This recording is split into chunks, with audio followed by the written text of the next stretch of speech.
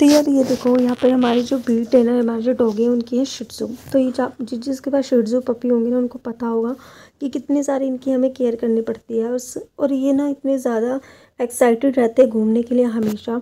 तो जब भी हमारे घर में कोई नीचे जाते नहीं, भाग भाग के नीचे आ जाते हैं और घूमते रहते हैं, हो जाते हैं गंदे।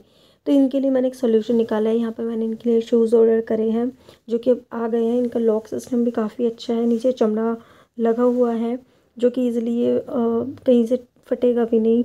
और ये अभी मैंने विस्की के लिए ऑर्डर करे हैं कोके के लिए बाद में आएँगे। विस्की भी आपको पहन के दिखाएँगे। वो देखो कितनी ज़्यादा क्यूट लग रही है। बिल्कुल ये मुझे बारबी डॉल कम और ये मुझे सेंटा क्लोज ज़्यादा लग रही है क्योंकि रेड कलर के कपड़े और इसके रेड कलर के शूज़ और अभी क्या बोल रही है? कह रही है मेरे को नीचे लेके चलो। शूज़ का जो लिंक है ना मैंने नीचे दे दिया है, आप चेकआउट कर लेना।